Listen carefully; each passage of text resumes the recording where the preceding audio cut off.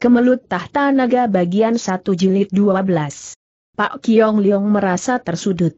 Biarpun ia yakin betul kejahatan Yong Cheng, apa gunanya kalau tidak dapat mengajukan bukti dan saksi?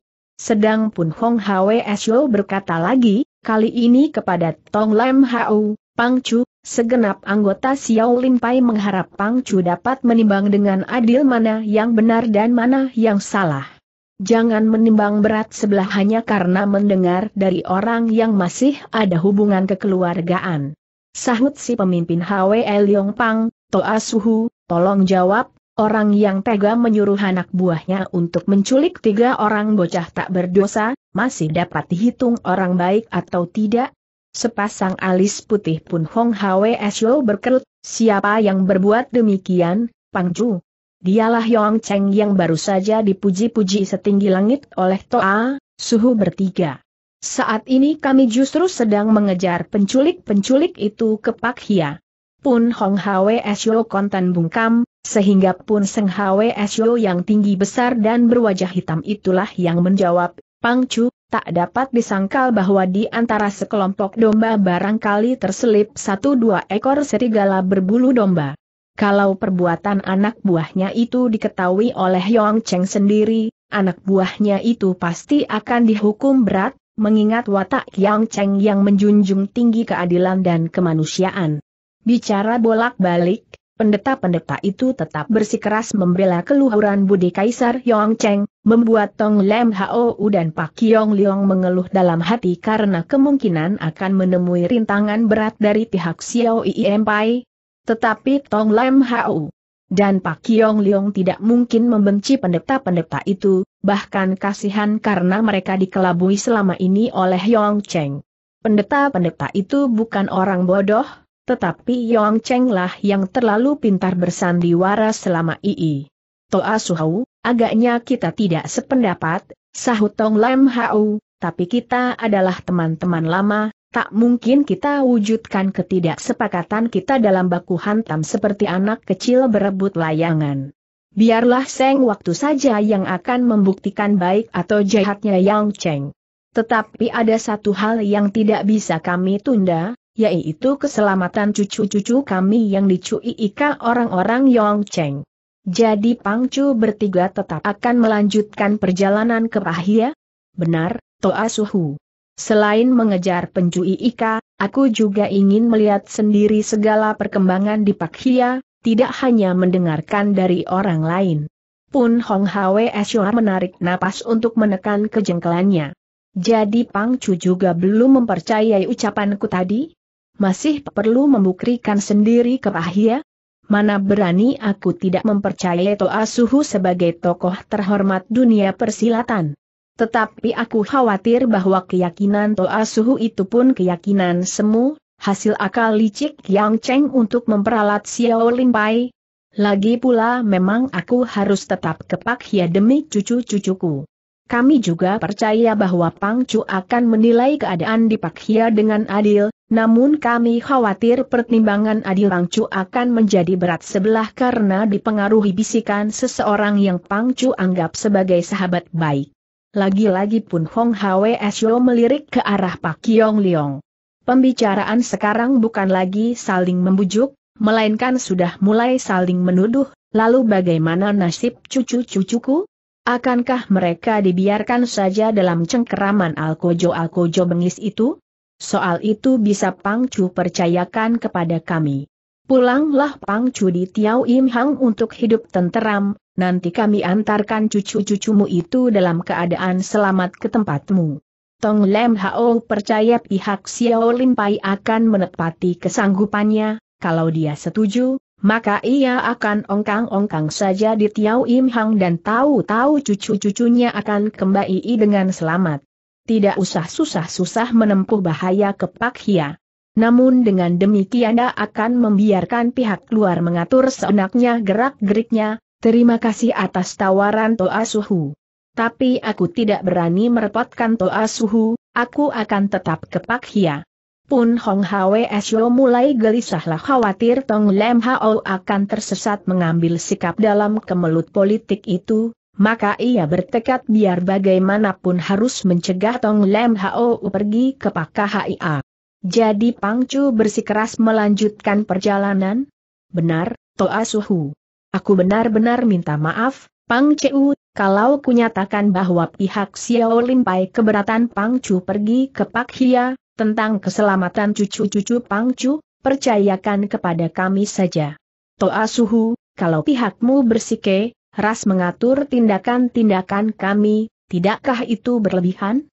Memangnya kami kaum Hwe Leong Pang hanya sekumpulan kerbau yang dicucuk hidungnya dan menurut dituntun ke sana kemari? Rupanya Tong Lam Hau, Pak Kiong Leong dan Tong Tai Pa mulai panas hatinya melihat sikap pendeta-pendeta Xiao Limpai itu. Masa hendak menyelamatkan cucu sendiri saja harus diatur oleh mereka? Sebaliknya pendeta-pendeta Xiao Limpai juga mulai jengkel menghadapi kebandelan ketua Hwe Leong Pang. Mereka curiga bahwa alasan mengejar peculik cucu-cucu itu hanyalah selubung dari maksud yang sebenarnya, yaitu mengusik Yang Cheng. Maka, para pendeta itu pun bertekad bahwa Hwe Leong Pang harus diselamatkan dari pengaruh hasutan Jayat Pak Kiong Leong. Nada suara pun Hong Hwe Esho tidak titik lagi sesabar semula, kami tidak berani menganggap Hwe Leong Pang serendah itu. Tapi demi rakyat yang sudah bosan pertentangan di pusat pemerintahan, aku mohon Pang Chu Erem pertimbangkan lagi sikap Pang Chu. Sikapku sudah kupertimbangkan berulang kali dan aku sudah mantap menjalaninya. Tak mungkin kurubah lagi, Toa Suhu. Pun Hong Hwe Esyo cuma menarik napas, sedangkan pun Seng Hwe Esyo telah berapi-api mukanya karena marah. Apalagi ketika mendengar Pak Kiong Leong berkata, Justru pihak Xiao Limpai yang aku mohon dengan hormat agar mempertimbangkan kembali dukungan kalian yang membabi buta terhadap Yang Cheng. Selidiki dulu penguasa macam apa yang hendak kalian dukung itu. Pun Seng Hwe Esyo yang lebih pemarah itu telah menjawab keras mendahului Pun Hong. Hwe Esyo, kami tidak mendukung membabi buta. Kami yakin Yang Cheng akan menjadi raja yang baik, dan demi rakyat, kami akan menentang siapa pun yang mengusik kekuasaannya yang sudah mapan.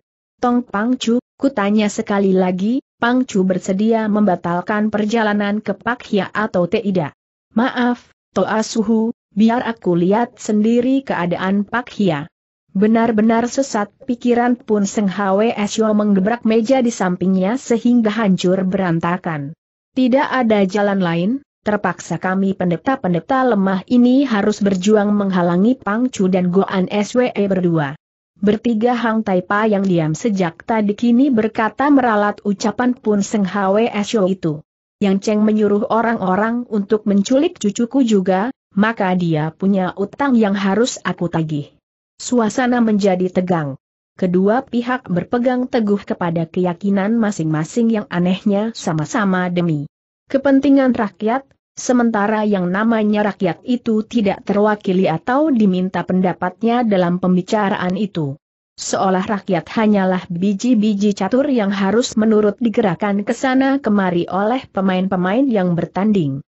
Yang satu berpendapat bahwa Yang Cheng harus ditumbangkan dan digantikan Pangeran Inte, yang lain berpendapat Yang Cheng harus dipertahankan supaya dapat menjalankan pemerintahan dengan baik seolah rakyat tidak berhak membicarakan nasib mereka sendiri. Nasib mereka dipercayakan kepada orang-orang pintar yang pandai bersilat lidah dan ngotot dengan pendiriannya sendiri-sendiri. Pun Hong Hwe Esyo berkata penuh sesal, sungguh ku sesalkan bahwa kami harus bertarung dengan seorang sahabat lama yang kami hormati. Tapi rasanya tidak ada jalan lain, Tong Lem Hou sendiri juga menyesali pertarungan tak terhendarkan, tetapi ia ingin agar pertarungan tidak menimbulkan sakit hati. Di kemutan hari maka dia pun mengusulkan, aku pun menyesal, Toa Suhu. Tetapi bagaimana kalau kita tidak mengorbankan persahabatan kita? Kita pibu, adu silat, saja secara adil dengan taruhan? Tiga lawan tiga. Kalau kami menang, Toa Suhu, jangan merintangi kami ke Pakhia untuk menimbang keadaan dengan adil. Kalau kami kalah, aku berjanji akan balik ke Tiao Im Hong, sedang tentang cucu-cucu yang diculik terpaksa Aka minta tolong pihak Xiao Limpai untuk menemukannya. Adanya nada sungkan dan hormat dalam ucapan Tong Lam Hao membuat Pun Hong Hwe Sio tak bisa menolak usul itu. Dia pun akhirnya menyetujui. Untuk menentukan pasangan-pasangan yang akan maju dalam tiap babak, adakan undian dengan angka-angka. Hasilnya babak pertama Pak Kiong Leong akan berhadapan dengan Pun Hong Hwsyo, babak kedua Hang Taipa akan melawan si raksasa bermuka hitam Pun Seng Hwsyo, dan babak ketiga Tong Lem Hao bertanding dengan si rahib kurus kering Pun Hoat Hwsyo. Berdasar perhitungan di atas kertas menurut kepandaian masing-masing, kedua belah pihak punya peluang yang sama besarnya untuk menang, sedikitnya menang dua dari tiga babak. Namun semuanya masih harus dibuktikan di Arna. Mereka lalu berjalan menuju halaman belakang Wihara Gong Simsi, tempat yang luas dan teduh karena dinaungi banyak pohon. Para HWSO penghuni Gong Simsi segera berbondong-bondong datang untuk menonton, seperti anak-anak hendak menonton adu jangkrik saja. Tetapi kali ini jangkrik-jangkriknya adalah raksasa-raksasa dunia persiatan. Silahkan. Goan SWE, kata Pun Hong HWSO yang langsung melangkah ke tengah arna setelah mencopot jubah panjangnya lah akan melawan Pak Kiong Leong di babak pertama. Setelah berhadapan dengan lawannya pun Hong Hwesyo tertawa kecut sambil berkata, rasanya ganjil juga. Nasib berjuta-juta rakyat hanya tergantung keterampilan kita bermain silat. Pak Kiong Leong juga tersenyum kecut. Namun ia tidak menjawab, hanya bersiap-siap sebab sadar menghadapi lawan berat, adik seperguruan pun Bu Hwesyo yang terkenal itu. Tanda bintang. Agak lama kedua jago tua itu hanya berjalan berputaran sambil saling menatap dengan tajam. Lama-lama kelihatan langkah mereka mulai berat, hingga bekas tapak kaki mereka tercetak di permukaan tanah yang keras itu pertanda bahwa kekuatan masing-masing pihak masih berhati-hati. Agak berbeda dengan perkelahian antar pemabuk di warung arak yang biasanya langsung saling jotos dengan sengitnya. Udara tergetar oleh hentakan Pun Hong Hwesyo, jubahnya tiba-tiba melembung seperti layar menampung angin. Kakinya membentuk kuda-kuda Cho Chian Ma, sikap menunggang kuda, serempak sepasang telapak. Tangannya menghantam dengan tiat sansik, pukulan mendorong gunung. Tenaga tak berwujud menyeberangi jarak beberapa langkah antara dirinya dan lawannya, dan berusaha menggempur roboh kuda-kuda Pak Kiong Leong. Pak Kiong Leong memutar sepasang telapak tangannya dengan jurus Locia Lohai, Dewa Locia mengacau laut, menimbulkan pusaran angin kuat yang berhasil menyingkirkan pukulan tak berwujud pun Hong Hwsu. Setelah itu, Pak Kiong Leong melangkah maju untuk memperpendek jarak. Cengkeraman kanannya mengancam pinggang si pendekta tua, berbarengan dengan kaki kirinya terangkat menendang pula. Rupanya si Jenderal Buronan ini menghendaki pertarungan jarak dekat yang mengandalkan keterampilan jurus, daripada pertarungan jarak jauh yang menguras tenaga dalam. Pak Kiong Leong menyadari keunggulan tenaga dalam kaum Xiao Limpai. Sedangkan dalam pertempuran jarak dekat, ia percaya bahwa Tian Liong Kun Hoat, pukulan naga langit, dan Liong Jiao Kang, pukulan kuku naga, miliknya akan mampu menandingi jurus Xiao Limpai yang mana pun juga. Pun Hong Hwe Esyo melangkah mundur dengan kuda-kuda rendah dan tubuh miring, sehingga cengkraman ke pinggangnya dapat dihindari. Lalu sepasang tinjunya menggencet ke arah pergelangan kaki Pak Kiong Leong yang menendang, seperti sepasang martil yang dibenturkan untuk meremukan sebuah sasaran, begitulah pergelangan kaki Pak Kiong Leong terancam remuk. Pak Kiong Leong segera mengembangkan jurus-jurus naga langitnya yang lincah dalam serangan-serangan lompatan itu. Kakinya yang menendang ditarik, tubuhnya tiba-tiba melambung melewati kepala si pendeta, kedua tangannya hendak mencengkram sepasang pundak lawan dari arah belakang. Itulah jurus Inli Siang Leong, sepasang naga dalam awan. Menghadapi kelincahan Tian Leong Kun Hoat, Pun Hong Hwe Esyo menggunakan cap Tubuhnya tiba-tiba melambung melewati kepala si pendeta, kedua tangannya hendak mencengkram sepasang pundak lawan dari arah belakang.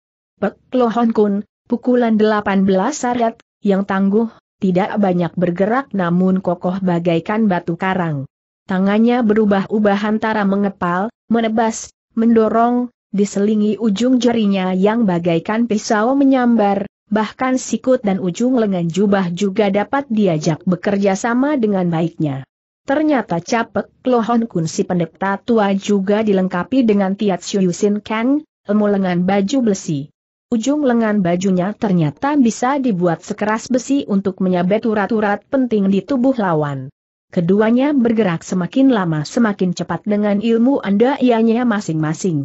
Ada berpuluh puluh bayangan tubuh Pak Kiong Leong di arna itu kadang-kadang menerkam seperti macan atau meluncur seperti ular, tetapi yang paling banyak ialah melompat seperti naga di atas mega. Namun Pak Kiong Leong belum menggunakan ilmu Hwe Yong Sin Kang, sebab ilmu itu hanya berguna menghadapi musuh yang tenaga dalamnya kalah tinggi, bukan musuh. Dengan tenaga dalam setangguh pun Hong Hwe Syu. Menghadapi kegarangan Pak Kiong Leong, pun Hong Hwe Syu memainkan jurus-jurus dengan tenang dan kokoh. Tubuhnya tidak berkelebatan seperti lawannya, lebih banyak diam, sekali-sekali bergeser selangkah dua langkah. Sepasang tangannya lah yang bergerak amat cepat sehingga seolah menjadi ribuan pasang tangan yang bertahan dan menggempur dengan dahsyatnya. Lengan jubahnya yang berwarna kuning berkibaran kencang, sehingga mirip gumpalan awan kuning yang menyelimuti tubuhnya.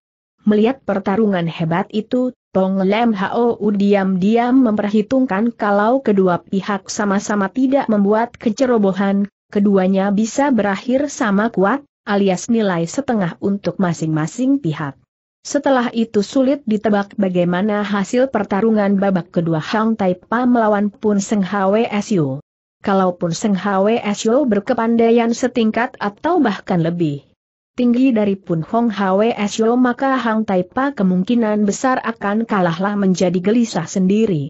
Hang Taipa yang duduk di sebelah Tong Lem Hao agaknya memahami kegelisahan sahabat karibnya, maka ia lalu membisikinya Lutong, kita harapkan Goan SWS setidak-tidaknya bermain seri. Setelah itu aku akan bertahan habis-habisan melawan si pendeta bermuka pantat kuali itu agar bisa seri juga aku tahu diri, tidak berani mengharap kemenangan dari seorang tokoh tua Xiao Limpai, bisa seri saja sudah bagus. Nah, tugas merebut kemenangan adalah tugasmu ketika melawan si kurus itu. Tong Lem Hao mengangguk-angguk pahamlah lega bahwa sahabatnya yang gendut itu tahu diri namun tidak menjadi kecil hati, boleh diharapkan siasatnya akan berhasil satu. Sementara itu, pertarungan di tengah Harna telah meningkat semakin hebat, seperti dua buah prahara yang berbenturan di satu titik. Pohon-pohon yang mengelilingi Arna telah Terguncang ranting-rantingnya daun-daunnya rontok beterbangan bercampur debu yang terangkat ke atas, membuat arna itu seolah ditutupi tirai tebal. Tian Iong Kun Hoat dan Liong Jiao Kang yang garang itu ternyata tidak mampu menembus capi Ek Lohon Kun dan Tiat Siusan Kang yang kokoh kuat. Sebaliknya pun Hong Hwe Syo juga tak sanggup merobohkan Pak Yong Liong yang bergerak terlalu lincah.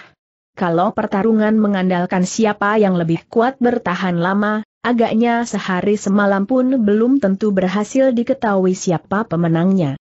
Saat itulah kedua tokoh yang bertarung secara bersamaan telah mengerahkan semangat dan kekuatan mereka untuk merampungkan pertarungan.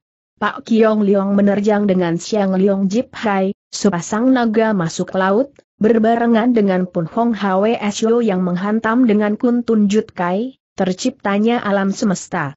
Kedua, pihak sama-sama menyerang untuk berusaha merebut kemenangan secara paksa. Debu yang berhamburan membuat apa yang terjadi di tengah harna tak tampak jelas. Hanya kedengaran suara gemuruh dahsyat, suara Pak Kiong Leong maupun Pun Hong Hwe Syo sama-sama membentak mantap. Kena. Suara gemuruh dan deru angin mereda, debu yang berhamburan mengendap kembali, sehingga nampaklah di tengah arna itu Pak Kiong Leong dan Pun Hong Hwe Syo sama-sama tergeletak di tanah, baju di bagian dada mereka sama-sama dikotori darah yang tersembur dari mulut mereka, keduanya sama-sama terluka. Tong Lem Hao dan Hang Taipa cepat-cepat mendekati tubuh Pak Kiong Leong dengan cemas. Saat yang bersamaan pun Seng Hwe Esyo dan pun Hoat Hwe Tesyo juga telah mendekati tubuh kakak seperguruannya untuk memeriksanya.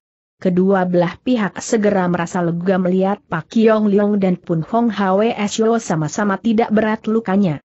Bahkan keduanya kemudian mampu berdiri kembali, meskipun dengan sedikit dibantu teman masing-masing. Pukulan Toa Suhu sungguh dahsyat, Pak Kiong Leong memberi hormat sambil merendah.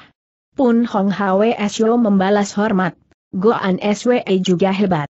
Untunglah pukulan Goan Swe tadi tidak menggunakan Hwe Yong Sin Kang yang dapat membuat tubuhku hangus. Menjadi arang. Akulah yang merasa beruntung bahwa Toa Suhu tidak menggunakan Tai Kim Kong Chiang, pukulan malaikat bertenaga raksasa, sehingga tubuhku tidak rontok berkeping-keping. Biarpun kedua pihak sama-sama memuji lawan, tapi nilai pertempuran tetap harus ditetapkan. Kedua pihak sepakat bahwa bertarungkan berakhir sama kuat, karena sama-sama terpukul oleh lawan. Begitu duduk di tempatnya kembali, pun Hong Hwe Esho tetap menunjukkan tekad kerasnya untuk merampungkan persoalan itu sampai tuntas dengan suara lemah diselingi batuk-batuk kecil, ia berkata, babak kedua boleh segera dimulai pun Seng Hwe Esyo yang bertubuh raksasa dan bermuka hitam itu pun menyahut, baik, Su Heng, lalu ia melangkah ke tengah arena dan berseru garang. Hong Xian Seng, sudah siapkah kau? Hong Taipa juga maju ke tengah arena, biarpun mukanya tersenyum-senyum, namun sebenarnya hatinya agak tegang juga. Nama pun Seng Hwe Esyo memang belum pernah terdengar di dunia persilatan, namun mengingat dia adalah adik seperguruan Pun Hong Hwe Esyo yang sanggup melukai Pak Kiong Leong agaknya si pendeta raksasa bermuka hitam ini pun bukan lawan enteng.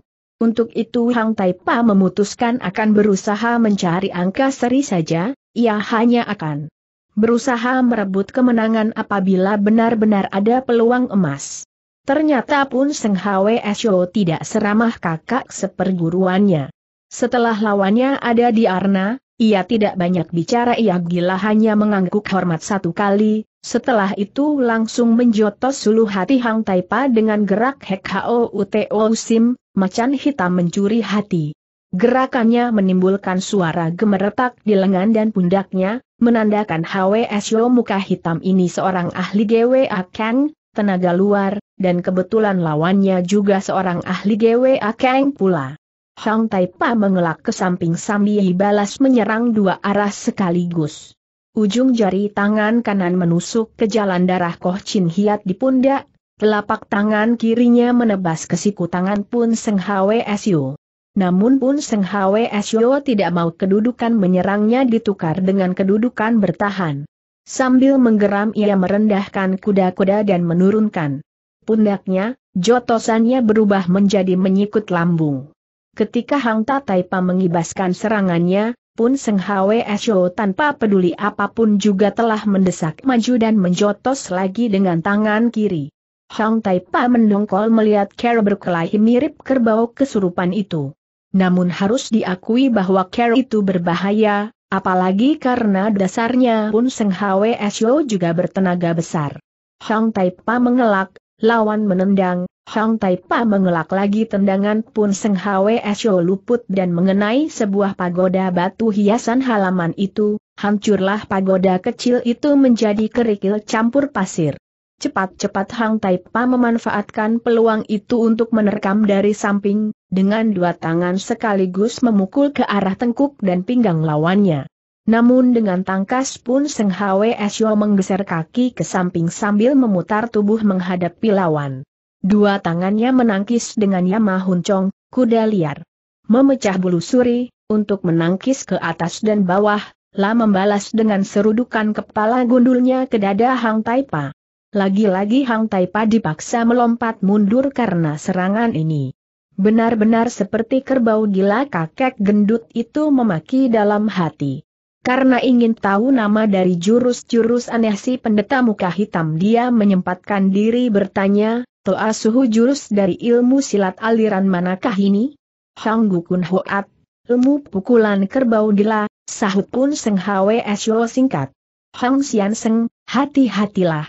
keruan Hang Taipa tercengang campur geli mendengarnya. Baru saja ia memaki dalam hati tentang kerbau gila, ternyata ilmu lawannya memang diberi nama pukulan kerbau gila. Itu memang jurus-jurus ciptaan Pun Seng Hwe Esyo sendirilah sudah mempelajari banyak jurus Xiao Lin Pai, lalu semua itu diperas dan diringkasnya menjadi Hang Kun Hoat. Kalau orang lahir, susah payah mencarikan nama yang bagus untuk ilmu ciptaannya, maka Pun Seng Hwe justru tidak peduli soal nama, disebutnya saja Hang Kun Hoat. Gerakannya yang nampak acak-acakan sebenarnya berbahaya, dilandasi kekuatan dan kecepatan, serta perhitungan bahwa musuh harus menyewe, amatkan diri lebih dulu kalau tidak ingin luka parah. Hang Gukun Hoat benar-benar contoh paling murni dari prinsip yang mengatakan pertahanan yang terbaik adalah menyerang. Musuh bertahan, dia menyerang. Musuh menyerang, dia ya tetap menyerang. Maka menggerutulah Hang Taipa dalam hatinya, karena belum menemukan cara yang baik untuk menundukkan gaya bertempur pun Seng Hwe Esyo itu. Kalau sama-sama kena, pasti dirinya lebih rugi, sebab pukulan dari seorang manusia kerbau macam pun Seng Hwe Esyo pasti akan berakibat parah. Akhirnya Hang Taipa mencoba untuk memancing terus serangan lawannya dengan harapan tenaga lawan akan cepat terkuras habis. Dalam perhitungan Hang Taipa, Carrier bertempur gila-gilaan macam pun Seng Hwe Esyo akan banyak menghabiskan tenaga dan cepat ambruk kelelahan. Setelah itu, barulah Hang Taipa berencana akan merebut kemenangan. Namun lagi-lagi Hang Taipa menggerutu. Pun Seng Hwe Esyo memang bertenaga kebau, tapi tidak berotak kerbau. Kalau Hang Taipa mengajaknya berputar-putar dengan mengandalkan keunggulan ilmu meringankan tubuhnya, pun Seng Hwe Esyo tidak mau mengejar dengan bernafsu, melainkan berdiri menunggu dengan santai sambil mengelus-elus gundulnya. Kalau Hang Taipa berhenti menunggu dalam jarak belasan langkah, pun Seng Hwe Esyo tidak berlari-lari menyeruduk dengan kalap, melainkan berjalan mendekati dengan gaya lenggang kangkung, setelah dekat barulah mengamuk kembali dengan jurus anehnya. Dengan demikian, rencana Hang Taipa untuk menguras tenaga lawannya agaknya juga tidak gampang dilaksanakan. Demikianlah, kalau pertempuran babak pertama tadi dahsyat menegangkan, maka babak kedua ini bagi para penonton boleh dianggap selingan yang jenaka.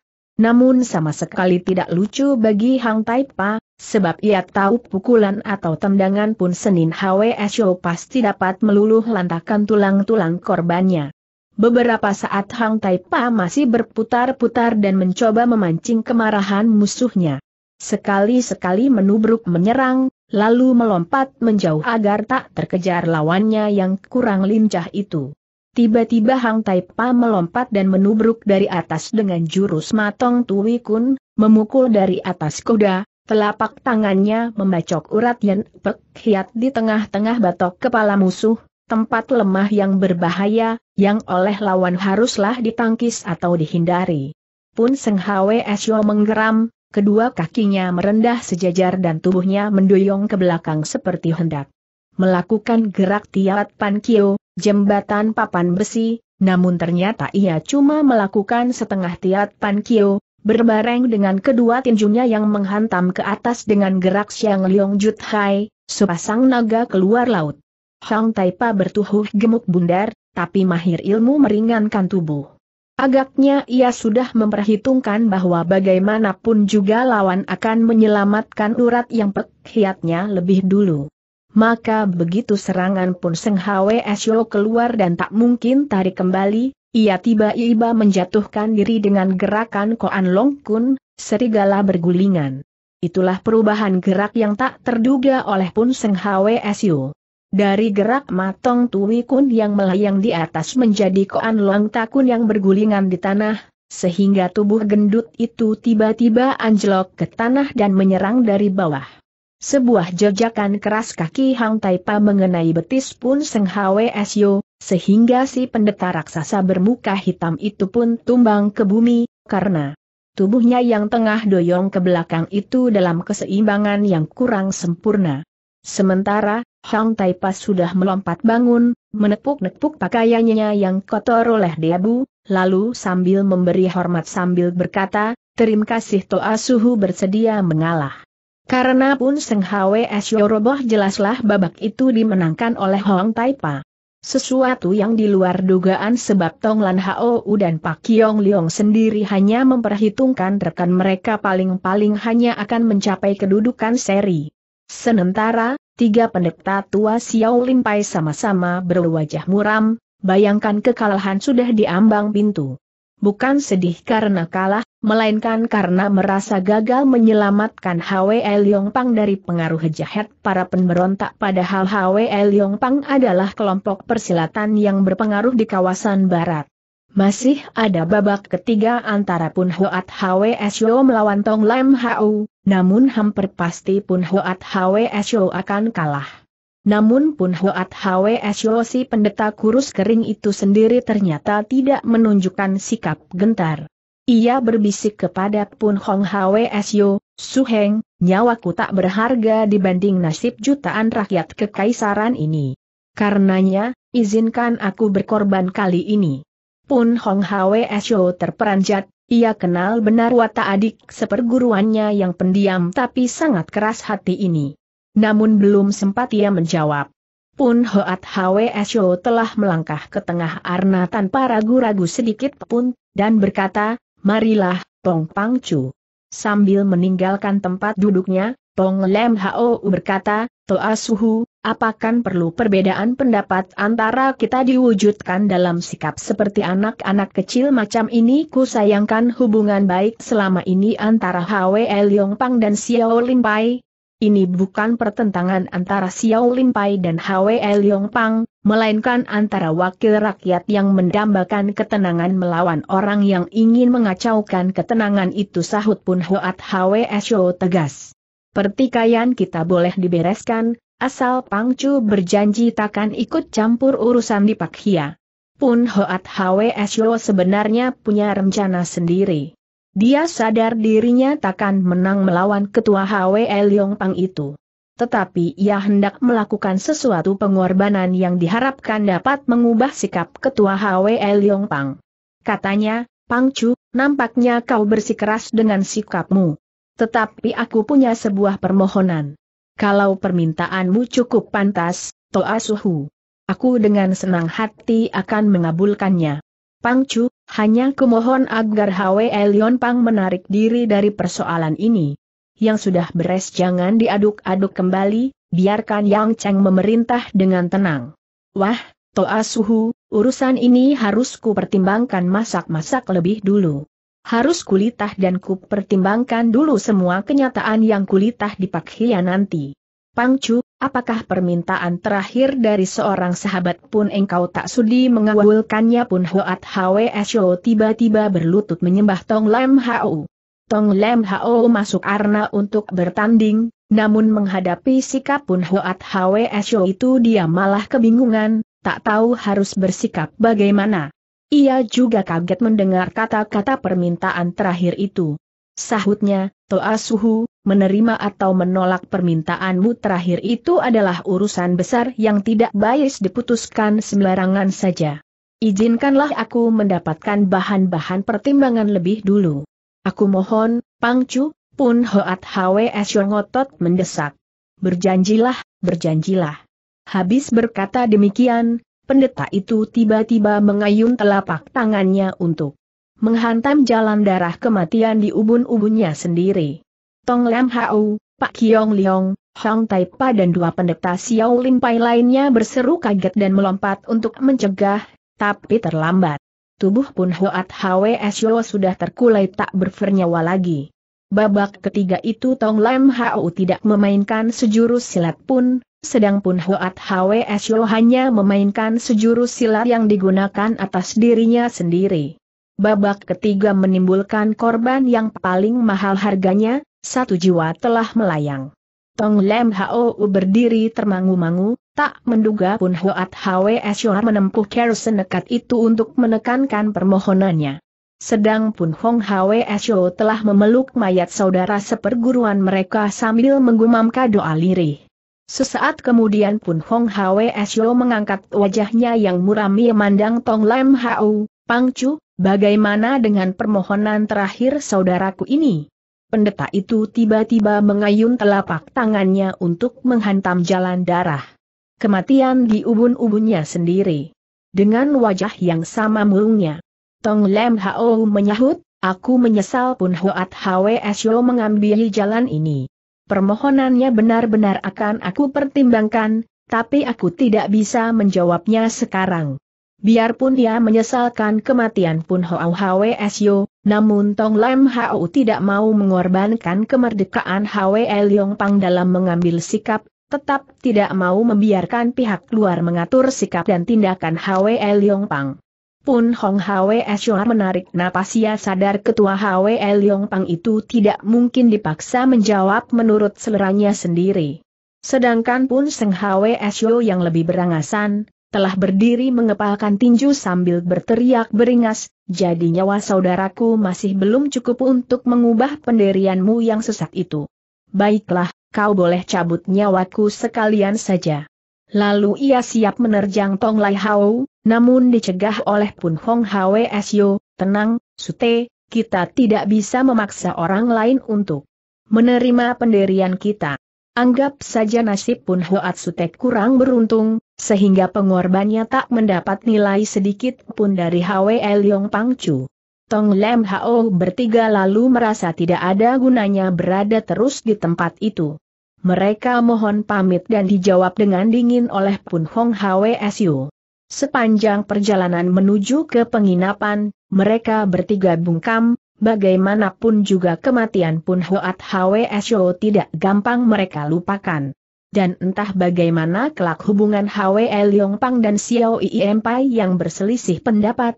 Dua pihak sama-sama merasa sedang membela rakyat, sama-sama merasa benar sendiri dan menyalahkan pihak lain, sama-sama yakin sehingga kalau perlu berusaha memaksakan pendiriannya agar diterima pihak lain. Karena itulah perang adalah hiasan yang tak pernah ketinggalan dalam sejarah umat manusia, di segala tempat dan di segala zaman. Keesokan harinya, biarpun suasana dengan pihak Xiao Limpai masih agak kurang enak, namun Tong Lem Hao bertiga datang juga ke Wihara Gong Simsi untuk menghadiri perabuan jenazah Pun Hoat Hwsu. Setelah itu barulah mereka meninggalkan kota Sengtoh terus ke Pak Hia. Tanda bintang. Sementara itu, rombongan lain yang menuju ke Pak Hia sudah menempuh jarak lebih jauh dari ketiga kakek yang berjalan santai itu. Mereka lah Tong Gin Yan, Pak Eng, Hu Sehyong, Ji Han Lim dan Kiong Wan Peng. Sebuah perjalanan yang tergesa-gesa sebab dalam rombongan itu terdapat keselamatan anaknya. Mereka sudah keluar dari Provinsi Sichuan dan menyeberangi Sungai Tiang Keng sehingga tiba di belahan utara dari wilayah kekaisaran. Pada suatu hari, ketika lima orang itu tengah berkuda menyusuri sebuah jalan pegunungan yang sunyi, dari arah depan muncul serombongan penunggang kuda lainnya yang berpapasan arah. Pemimpin rombongan itu adalah dua lelaki bertubuh tegap dan bermata tajam. Mestinya hal biasa, tetapi yang istimewa adalah cara berpakaian para penunggang kuda itu. Saat itu ialah zaman Kaisar Yongcheng, penguasa ketiga dari dinasti Manchu setelah Santi dan Hong Hai, zaman di mana kaum lelaki menguncir panjang rambutnya. Model pakaiannya pun khas zaman itu. Tetapi rombongan berkuda yang berpapasan itu berpakaian seperti orang zaman dinasti Beng yang sudah tenggelam seratus tahun lebih. Rambu mereka tidak dikuncir, melainkan digelung, sehingga mirip rombongan pemain sandiwara keliling. Sika mereka ketika berpapasan dengan rombongan Hwe Leong Pang, juga menunjukkan sikap penuh kebencian salah. Seorang dari mereka bahkan meludah jijik, seolah mereka berpapasan dengan serombongan orang berpenyakit menular. Namun kedua belah pihak berpapasan begitu saja tanpa timbul peristiwa lebih lanjut. Orang-orang aneh, komentar Ui Bin Penghoihu sehingga ketika sudah berpapasan agak jauh. Kita harus waspada, Hiang Chu, Tong Ginyan memperingatkan. Sikap mereka kelihatan amat membenci kita, barangkali mereka mengenal siapa kita, dan punya alasan untuk bersikap demikian terhadap kita. Hui Po Sin Ji Han Lem ikut menimbrung bicara, Pakaian mereka mengingatkan aku kepada suatu golongan. Hise Hyong, Pak Hyong Eng dan Kyong Wan pengberbarengan menebak, Jit Goat Pang, serikat rembulan matahari. Kalian menebak tepat, sahut Ji Han Lim. Kalau begitu selanjutnya memang kita. Pantas berhati-hati kata Tong Ginian. Jit Goat Pang yang mencita-citakan bangunnya kembali. Dinasti Beng itu punya sejarah yang tidak bersahabat dengan Hwe Leong Pang kita. Aku pernah mendengar cerita ayah. Jit Goat Pang adalah gerakan bawah tanah dari orang-orang yang setia kepada dinasti Beng yang sudah roboh, dan mereka bercita-cita membangunnya kembali. Anggota inti mereka kebanyakan adalah keturunan pembesar-pembesar atau panglima-panglima kerajaan Beng almarhum dan sejumlah pengikut fanatik lainnya. Nama Jit, matahari, dan Goat, rembulan, kalau digabung memang membentuk huruf Beng, cahaya, yang menjadi nama dinasti ketika dulu ditegakkan oleh Kaisar Hangbu yang nama asalnya Chu Goan Chiang. Menilik sejarah Jit Goat Pang dan Hwe Leong Pang dapat dimaklumi kalau kedua kelompok itu bermusuhan.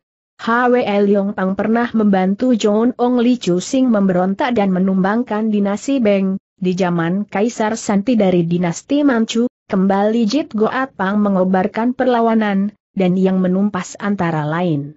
Pak Kiong Leong dan Tong Lam Hau, ayah dari Pak Kiong Eng dan Tong Ginian jadi dendam kedua kelompok itu adalah warisan orang tua masing-masing. Kewaspadaan seluruh rombongan semakin meningkat, ketika mereka berpapasan beberapa kali lagi dengan rombongan orang-orang berpakaian kuno itu. Aku khawatir, mereka sedang merencanakan sesuatu atas diri kita, kata Tong Ginian, mereka pasti tahu siapa kita, dan barangkali siap menyembelih kita. Kalau mereka turun tangan, akulah yang akan menyembelih mereka, kata Ji Han Lim sambil menimang-nimang kapaknya. Ketika matahari terbenam, rombongan Hwe Leong Pang mendapat tumpangan menginap di sebuah desa kecil terpencil yang hanya terdiri dari beberapa rumah saja, seorang petani yang rumahnya berukuran paling besar di desa itu, bahkan menawarkan agar rombongan itu menginap di rumahnya. Namun karena rumah petani, maka di sekitar rumah bertumpuk. Tumpuklah ikatan-ikatan kayu besar, jerami-jerami yang menurut tuan rumahnya untuk membermakan lembu, dan perabotan rumah rusak yang semuanya terdiri dari kayu. Semuanya ditumpuk begitu saja di sekitar rumah. Melihat keadaan rumah itu, Hu Ong mengerutkan aliasnya memikirkan sesuatu.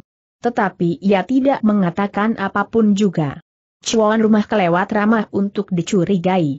Cuan rumahnya sendiri yang menyuruh menyuguhkan makan malam dan mengajak mengobrol cukup lama. Ketika Hu Sehyong menanyakan di mana keluarganya, si tuan rumah menjawab bahwa istri dan anak-anaknya sedang berkunjung ke rumah mertuanya di desa lain.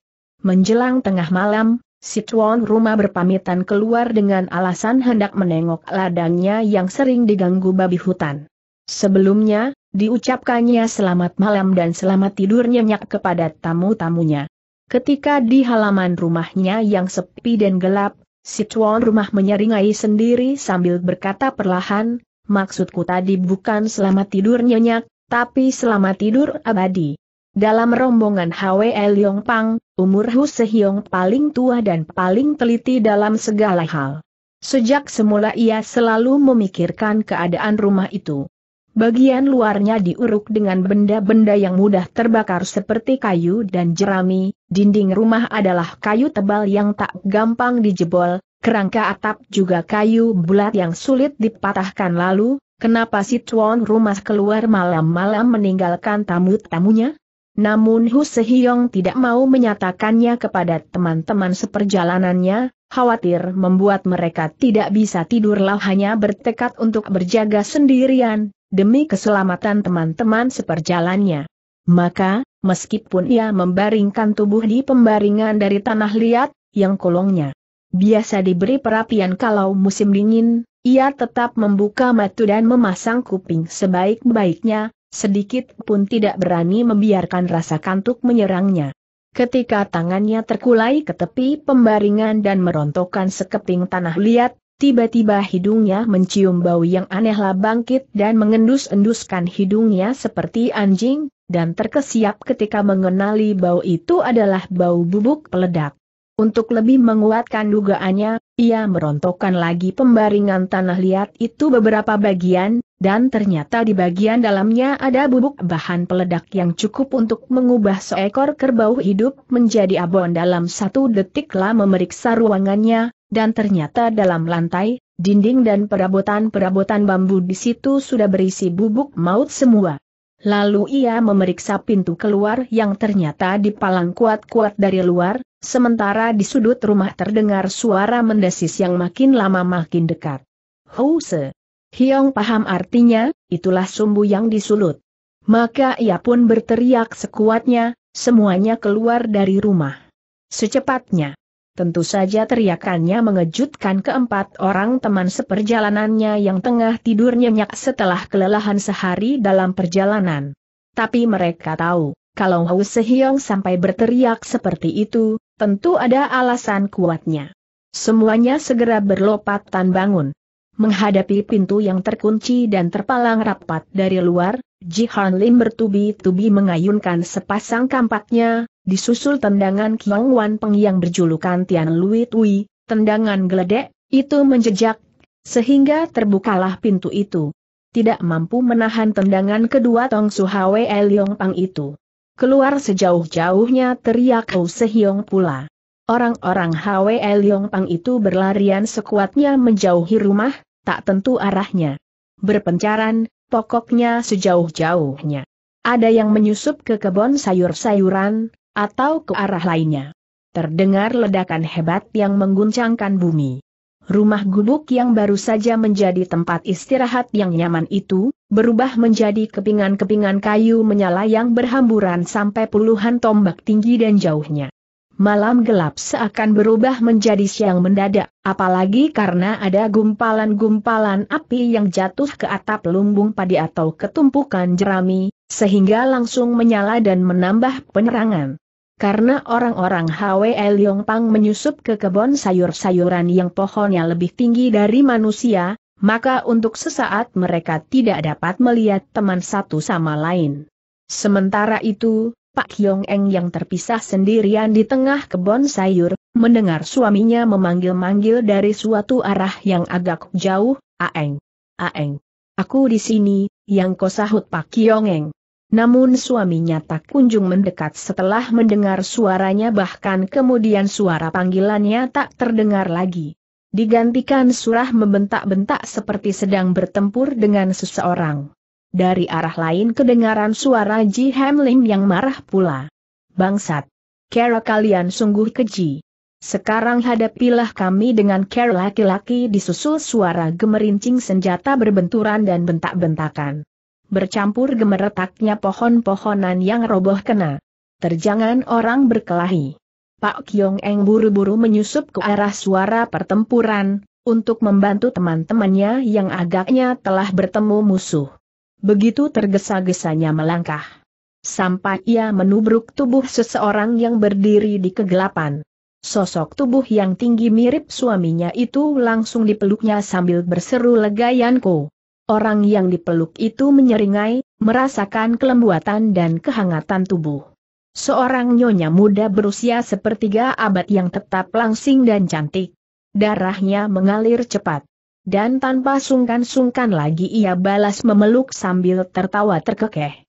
Kekeh tawa itu mengejutkan Pak Yongeng, sebab itu bukan suara suaminya. Ia hendak melepaskan diri dari pelukan. Namun jalan darah di pundak dan pinggangnya mendadak terasa kesemuatan dan lemaslah tubuhnya. Jelas ia tertotok, bahkan ingin berteriak pun tidak keluar suaranya. Orang itu lalu meletakkan Pak Kiongeng terlentang di tempat yang terlindung oleh bayangan pepohonan, sambil terkekeh-kekeh ia berkata, tadi kau memanggil putra Hwe Leong Pang, tentunya kau adalah istrinya yang bernama Pak Kiong Eng dan berjuluk Pak Leong Siam Li, Bidadari naga putih, betul bukan?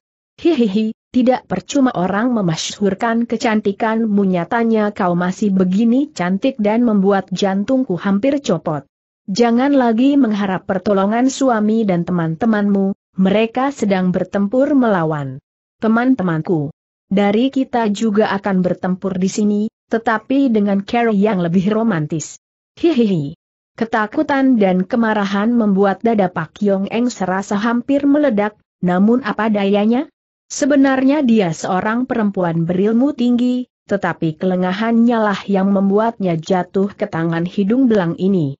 Terasa tangan lelaki kurang ajar itu mulai menggerayangi tubuhnya, dengan napas yang mendengus-dengus berat, lalu satu demi satu kancing baju Pak Kiongeng direnggutnya. Malam yang beruntung buatku, kekeh lelaki itu disela engahan napasnya karena memuncaknya nafsu. Malam ini aku akan bermain pengantin-pengantinan dengan Pek Kliong Sian Li tapi acara yang direncanakannya itu terganggu, karena dari sela-sela pepohonan sesosok tubuh melompat keluar sambil membentak, Giok bin Hoati ap, kupu. Kembang berwajah kemala, kau belum juga jera dengan perbuatan-perbuatan bejatmu. Orang yang baru muncul itu langsung melancarkan sebuah jotosan ke kepala si hidung belang yang tengah berjongkok di samping tubuh Pek Kiong Eng itu. Si hidung belang terpaksa harus melompat menghindar kalau tidak ingin pelipisnya retak oleh jotosan dahsyat itu. Si kupu kembang berwajah kumala itu bernama asli Kui, pemimpin nomor dua dalam Jigo Atpang. Oleh pengikut-pengikutnya ia dipanggil pangeran, karena bermarga Chu dan dipercayai sebagai keturunan Kaisar Chongcheng, penguasa terakhir dinasti Beng. Kegemarannya terhadap perempuan menjadi ciri khasnya yang mudah dikenali. Bangsat, kau rupanya bosan hidup ia membentak marah kepada penyerangnya. Penyerangnya adalah Tong Chu Hwe Leong Pang dari Pek Kitong, kelompok bendera putih, Kiong Wan Peng, lah punya dua orang guru, yang pertama adalah Oh Yun Kim si orang Korea. Yang berjulukan Bu Eng Tui, tendangan tanpa bayangan, yang kedua Lu Xiong yang berjuluk Jian Kin Sin Kun, tinju malaikat seribu kati, sehingga Kiong Wan Peng merupakan seorang yang berbahaya baik tangannya maupun kakinya. Agaknya Chu Seokui tak berani meremahkan lawannya. Dari pinggangnya ia meloloskan senjatanya yang berupa cambuk.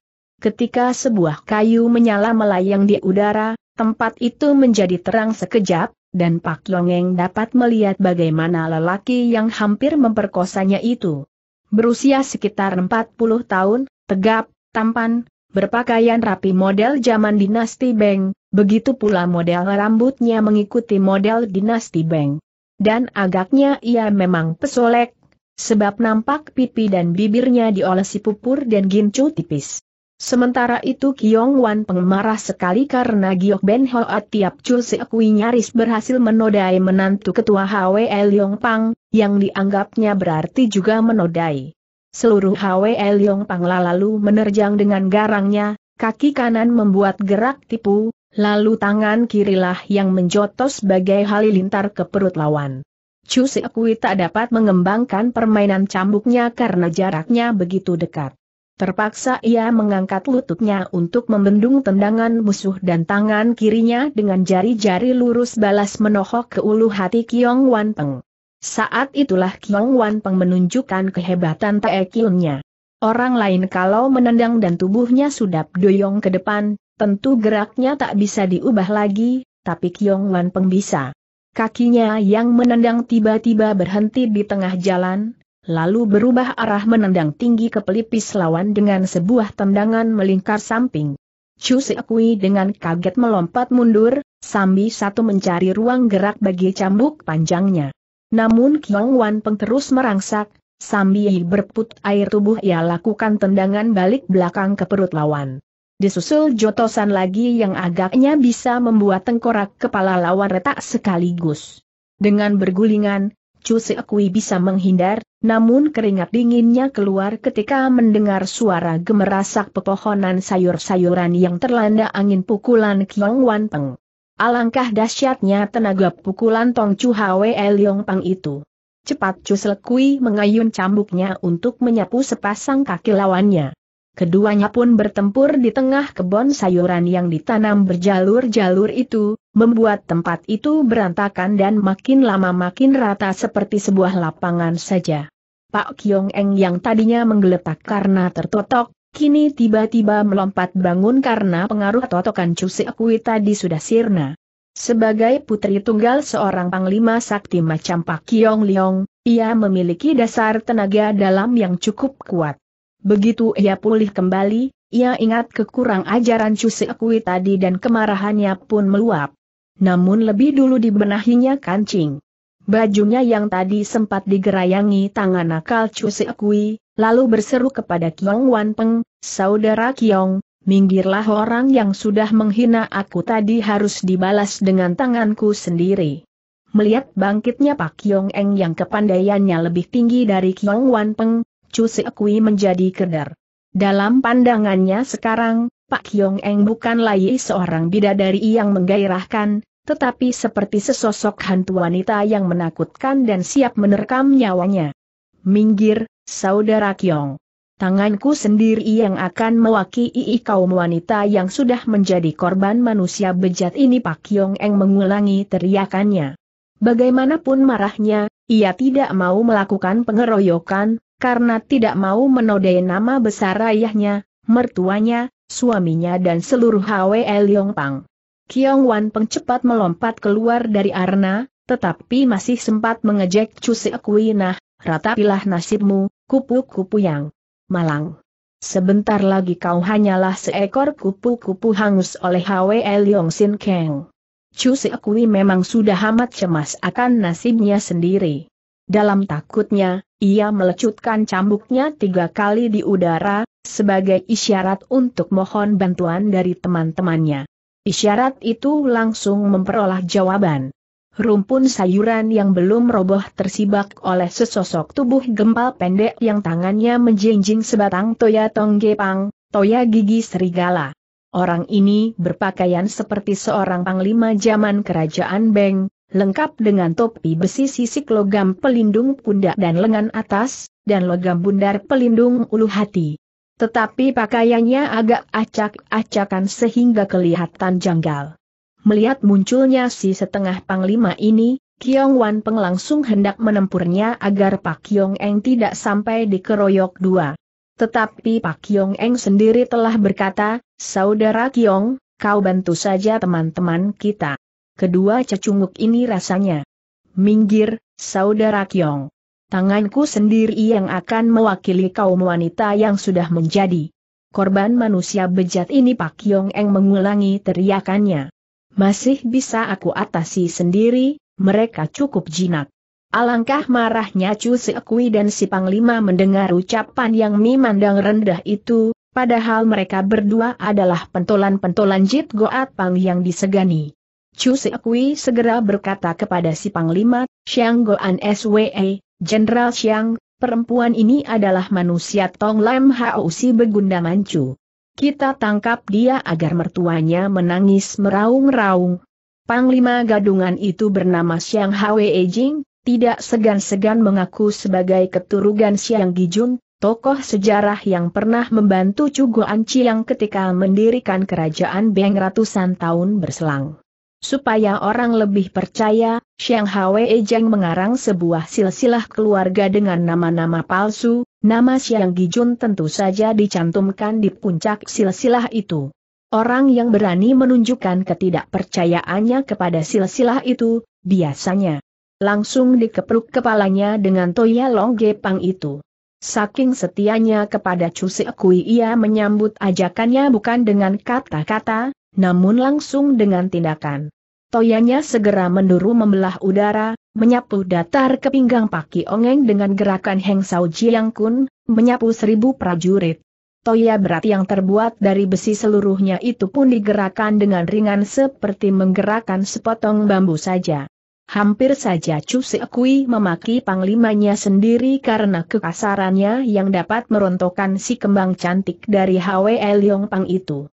Tapi kekhawatirannya tidak perlu, sebab Pak Yong Eng berhasil menghindar ke atas, dan bahkan balas menghantam ke ubun-ubun lawan dengan pukulan Taisan Apteng, Gunung Taisan menimpa kepala. Chu Sekui yang masih berharap untuk bisa menangkap hidup-hidup Pak Yong Eng, kemudian terjun pula ke arna. Maka bertempurlah Pak Yong Eng melawan kedua pentolan tangguh dari Jit Goat Pang itu yang satu bertenaga besar dengan Toya Long Gepang yang amat berbahaya, yang lainnya lincah dengan permainan cambuknya, bahkan tak segan-segan bertindak licik. Tetapi lawan mereka lincah beterbangan kian kemari, dengan pakaian serba putihnya yang mi ambai-lambai sehingga memang mirip seorang bidadari. Pak Kiong Eng bukan cuma menghindar dan menangkis, namun juga membalas menyerang dengan memainkan ilmu pukulan Tian Liong Kun Hoat. Bahkan ketika ia mulai mengerahkan Hwe Liong Sin Kang pula, maka dari tiap pori-pori kulitnya menyembur udara panas, Sepasang telapak tangannya pun nampak bercahaya kernerah merahan di kegelapan malam, seperti logam terbakar. Sesaat lamanya Kiong Wan Peng masih melihat jalannya pertempuran, untuk mengetahui apakah keadaan Pak Ongeng berbahaya atau tidaklah merasa lega bercampur. Kagum melihat Pak Yong Eng bertempur dengan sangat perkasa, dan mulai mendesak kedua lawannya.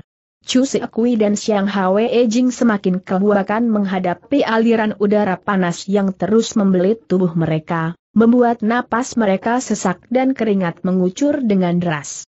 Karena tidak lagi mengkhawatirkan keadaan Pak Yongeng, maka Kiong Wan Peng segera pergi ke bagian pertempuran lainnya, ingin melihat kalau-kalau ada temannya yang membutuhkan bantuannya. Ternyata orang-orang Jit Goat Pang yang bermaksud memusnahkan orang-orang Hwe Liong Pang, bukan saja memasang peledak dalam rumah, namun juga mengerahkan cukup banyak orang. Jumlahnya ada 15 orang, semuanya adalah anggota-anggota andalan di bidang ilmu silat. Tong Gin yang bertempur sengit melawan dua orang lawan, dengan sebuah pedang rampasan di tangannya, sebab pedangnya sendiri ketinggalan dayam rumah kayu yang meledak itu. Di dekatnya, nampak dua mayat anggota Jet Goat Pang yang menjadi korban kemarahannya. Sementara kedua lawannya pun agaknya mulai terdesak.